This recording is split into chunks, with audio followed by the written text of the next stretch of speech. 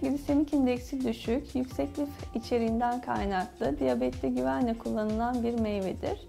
Ee, içerdiği aktiniyadin enzimi sayesinde sindirim sistemini destekler. Yani konstipasyonda ki biz buna kabızlık diyoruz etkilidir.